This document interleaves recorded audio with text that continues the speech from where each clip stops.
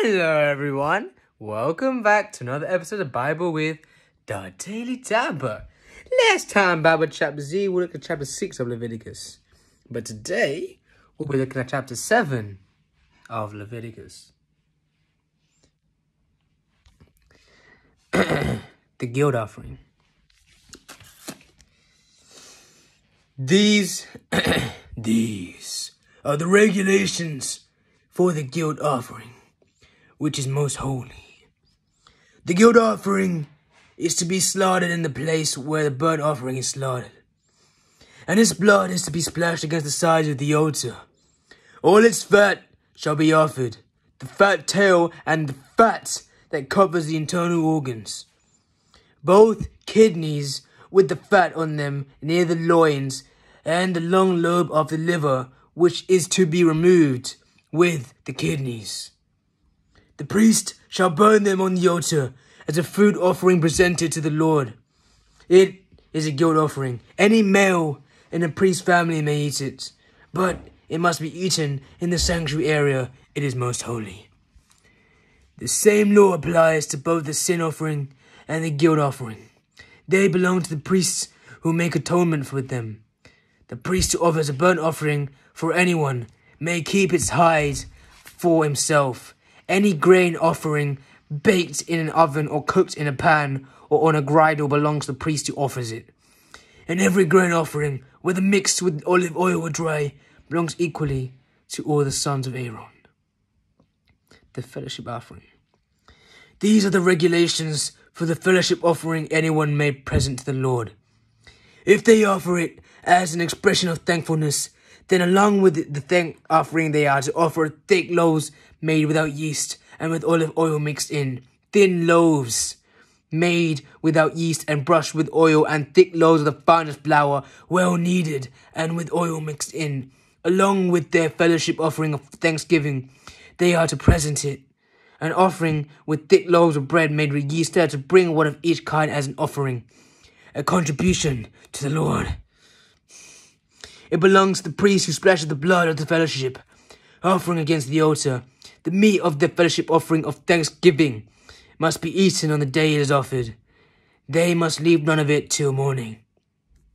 If, however, their offering is a result of a vow or is a free will offering, the sacrifice shall be eaten on the day they offer it, but anything left over may be eaten on the next day. Any meat of the sacrifice left over to the third day must be burned.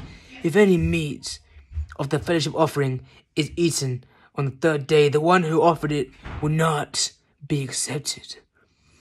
It will not be reckoned to their credit, for it has become impure. The person who eats any of it will be held responsible. Meat that touches anything ceremonially unclean must not be eaten. It must be burned.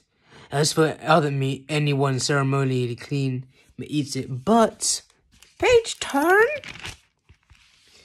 If anyone who is unclean eats any of the meat of the fellowship offering belonging to the Lord, they must cut off from their people.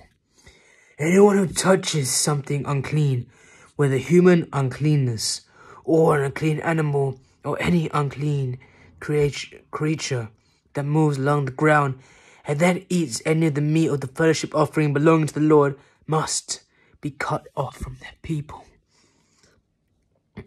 Eating fat and blood forbidden. The Lord said to Moses, Say to the Israelites, Do not eat any of the fat of cattle, sheep, or goats.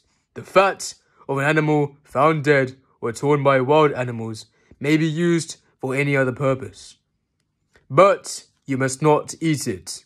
Anyone who eats the fat of an animal which a food offering may be presented to the Lord must be cut off from their people. And wherever you live, you must not eat the blood of any bird or animal.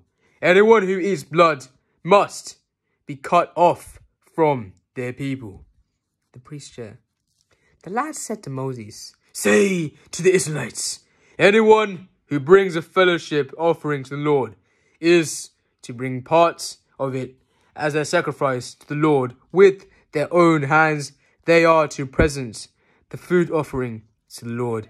They are to bring the fat together with the breast and wave the breast before the Lord as a wave offering. The priest shall burn the fat on the altar, but the breast belongs to Aaron and his sons. He likes the breast, don't he?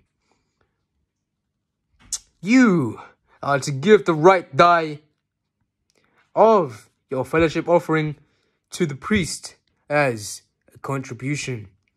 The son of Aaron, who offers the blood, and the fat of the fellowship offering shall have the right thigh as his share. From the fellowship offerings of the Israelites, I have taken the breast that is waved and the thigh that is presented, and have given them to Aaron, the priest, and his sons as their perpetual share from the Israelites.